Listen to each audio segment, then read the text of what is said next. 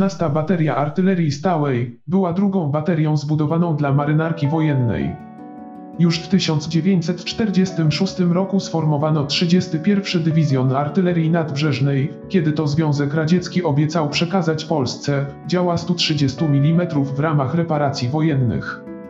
Po przedstawieniu w tymże roku planu artyleryjskiej obrony Gdyni, opracowano dyslokację przyszłych baterii. Początkowo wybrano Redłowo i Westerplatte, jednak druga lokalizacja okazała się nietrafiona z uwagi na niską nośność gruntu. Postanowiono wykorzystać istniejące obiekty przedwojennej 31 baterii imienia Heliodora Laskowskiego. Należało dobudować tylko jedno stanowisko, zniszczone po niewyjaśnionym do końca wybuchu w stanowisku pierwszym. Nowe stanowisko zbudowano dokładnie według przedwojennych projektów, ale na przeciwległym krańcu baterii. Tym samym przenumerowano stanowiska i nowe stało się czwartym. Na wiosnę 1947 roku przybyły do Polski obiecane działa. Aby umożliwić poprawny montaż nowych dział B-13, należało wylać dodatkową warstwę betonu na strop i dobudować przedpiersie. Montaż zakończono na początku 1949 roku. 24 marca przeprowadzono pierwsze strzelanie techniczne, 8 lipca z luf wkładkowych i 3 sierpnia pierwsze kalibrowe strzelanie taktyczne, kończąc wcielanie baterii do struktur marynarki wojennej. 22 listopada 1950 roku rozformowano 31 Dywizjon Artylerii Naziemnej, tworząc samodzielne baterie artylerii stałej. Bateria otrzymała etat STU 50 żołnierzy i dwóch pracowników cywilnych. W latach 50. trwała intensywna rozbudowa obiektów baterii wraz z montażem wyposażenia. Kiedy w 1956 roku postanowiono doposażyć baterię w radary artyleryjskie typu B, bateria Helska otrzymała wyjątkowo oddzielną wieżę radarową. Oddano ją do eksploatacji w 1957 roku. Później otrzymała ona jeszcze urządzenie zapytujące Kremnij II. W 1955 roku po utworzeniu ponownie dywizjonów artylerii nadbrzeżnej, baterię wcielono do 32 Dywizji Artylerii Naziemnej z dowództwem w Gdyni. W listopadzie 1956 roku bateria, wraz z innymi została skadrowana na etat 52 żołnierzy. W 1963 roku połączono 13 i 27 baterię artylerii stałej, tworząc 27 baterię artylerii nadbrzeżnej. Po szybkim rozformowaniu dywizjonów, baterie w połowie 1965 roku wcielono do 9 Floty Obrony Wybrzeża na Helu. Na początku lat 70. rozpoczął się faktyczny koniec istnienia baterii artylerii naziemnej, ograniczono zadania, zmniejszono ilość ćwiczeń. W grudniu 1974 roku na jej bazie utworzono 7 Dywizjon Artylerii Przeciwlotniczej.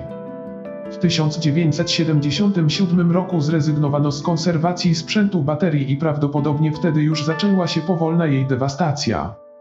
Proces ten częściowo ograniczało ciągłe położenie baterii na terenie wojskowym, lecz na początku lat 90. pocięto na złom trzy działa B-13 pozostawiono jako eksponat jedno działo na stanowisku trzecim wraz z oryginalnym parasolem maskującym.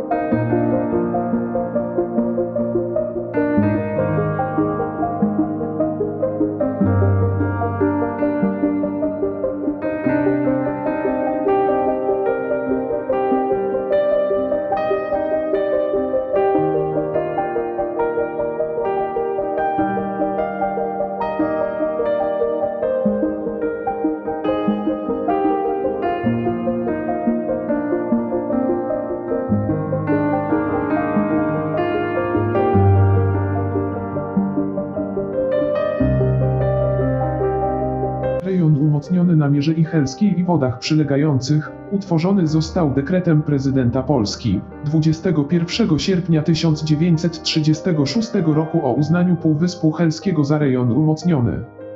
Budowę portu marynarki wojennej RP w Helu rozpoczęto w 1931 roku.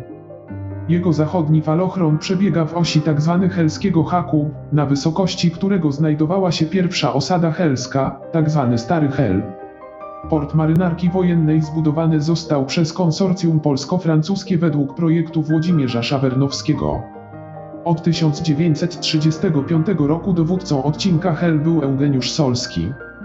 Do wybuchu wojny zbudowano basen z nabrzeżem obsługowym o szerokości 45 metrów. W pobliżu portu powstały inne, niezbędne dla bazy morskiej obiekty. Około 1,5 km na północ od portu zbudowano podziemną elektrownię, a bliżej, w lesie, schrony amunicyjne, minowe oraz torpedowe. Kilka kilometrów na zachód od tego miejsca zbudowano podziemne zbiorniki paliwa, od których prowadzono do nadbrzeża rurociąg. Od stacji kolejowej w Helu poprowadzono do portu bocznicę w celu dowozu zaopatrzenia. Z portu do składów i magazynów doprowadzone zostały tory kolejki wąskotorowej. Po zajęciu Mierzei Helskiej przez wojska hitlerowskich Niemiec, okupant postanowił wykorzystać i rozbudować umocnienia do obrony rejonu bazy morskiej budowanej w Gdyni. Zbudowano największe stałe stanowiska artylerii nadbrzeżnej z trzema działami. U brzegów Mierzei, po jego wewnętrznej stronie, na wodach Zatoki Puckiej, posadowiono budowlę systemu służącego do badań broni torpedowej, prowadzonych w Gdyni, jedną na wysokości Mola w Juracie, drugą na południowy wschód na wysokości Boru. W czasie okupacji hitlerowskiej wojska niemieckie umieściły na terenie Mierzei także stacje radarowe. Na pozostałej po wojnie podstawie jednej z nich zbudowano zapasowe stanowisko kierowania ogniem 13 baterii artylerii stałej. Do systemu obrony przeciwlotniczej należały również co najmniej trzy stacjonarne baterie przeciwlotnicze, każda wyposażona w cztery armaty, mogące prowadzić ogień także do celów morskich. Na przełomie lat 60. i 70. kontynuowano umacnianie obecności militarnej na Mierzei. W ramach budowy polskiego systemu obrony powietrznej kraju, będącego częścią systemu obrony powietrznej Układu Warszawskiego, powstały tam dwa dywizjony rakietowe, wchodzące w skład czwartej brygady. Na północnych obrzeżach miasta, na północny wschód od dworca kolejowego w Helu, za podwójnym ogrodzeniem zewnętrznym zwykłym i wewnętrznym znajdującym się pod napięciem, powstał 22 Dywizjon wyposażony w system Wołchow oraz 214 Kompania Radiotechniczna. W Helu Borze, 64 Dywizjon uzbrojony został w system NEWA. Po przemianach politycznych 1989 roku, Wojska Obrony Powietrznej kraju zostały połączone z wojskami lotniczymi w jedną strukturę, powstały Wojska Lotnicze i Obrony Powietrznej, przejmując istniejące dywizjony rakietowe i pododdziały radiotechniczne. 22 Dywizjon Rakietowy został sformowany na podstawie rozkazu organizacyjnego dowódcy wojsk z 12 stycznia 1963 roku. W pierwszym okresie, który w Helu przeznaczono na budowę niezbędnej infrastruktury, kadra i żołnierze jednostki szkolili się w specjalistycznym ośrodku szkoleniowym wojsk rakietowych w Bemowie Piskim, a następnie doskonalili swoje umiejętności w dywizjonie rakietowym, stacjonującym w Olszowej na Śląsku. Dywizjon został wyposażony w przeciwlotniczy zestaw rakietowy średniego zasięgu Wołchow, produkcji radzieckiej. Zbudowano obiekty koszarowe, budynek sztabu, budynki zaplecza, magazyny i garaże. W specjalnie wydzielonej strefie wybudowano sześć, otoczonych wałami, stanowisk startowych dla wyrzutni rakietowych, wiaty dla samochodów transportowo-załadowczych z rakietami do ponownego załadowania wyrzutni, schrony dla obsługi. Wewnątrz górki znajdował się schron dowodzenia, bunkier z pomieszczeniami dla całej załogi baterii startowej i baterii radiotechnicznej pełniącej dyżury bojowe, pomieszczenia mieszkalne dla kadry, stanowisko dowodzenia, filtry powietrza. Obiekt mógł funkcjonować autonomicznie w warunkach użycia broni masowego rażenia, pomieszczenia socjalne. Z zewnątrz dostępne były garaże, w których stały kabiny z aparaturą, podłączone w jeden system. Były to główna kabina dowodzenia i naprowadzania, kabina przeliczników, kabina ze sprzętem łączności, kabina elektrowni Dieslowskiej. Na szczycie na utwardzonym stanowisku stała kabina nadawczo-odbiorcza z antenami stacji śledzenia i naprowadzania rakiet. Całość łączyła sieć dróg w charakterystycznym układzie kolistym oraz system okablowania zasilającego, sterowania i łączności w kanałach kablowych z betonowych płytek. Pierwszy dyżur bojowy dywizjon przyjął w lipcu 1964 roku 22 dywizjon pełnił służbę do rozformowania w ramach restrukturyzacji sił zbrojnych RP w końcu września 2001 roku. W tym też czasie wykofano z uzbrojenia Wojska Polskiego system rakietowy Wołchow. Stacjonująca na tym samym terenie co dywizjon 214 kompania radiotechniczna powstała pod koniec 1956 w Lisewie Kaszubskim. W 1978 roku kompanię przeniesiono z Lisewa do Helu, gdzie stacjonowała do rozformowania w końcu 2001. Po opuszczeniu obiektów teren przejęła marynarka wojenna, która zajęła głównie część koszarową. Były tu pododdziały łączności floty marynarki wojennej. Strefa bojowa za ogrodzeniem z drutu kolczastego pod napięciem została praktycznie pożukona i znajdujące się tam obiekty padły z czasem łupem lokalnych amatorów złomu.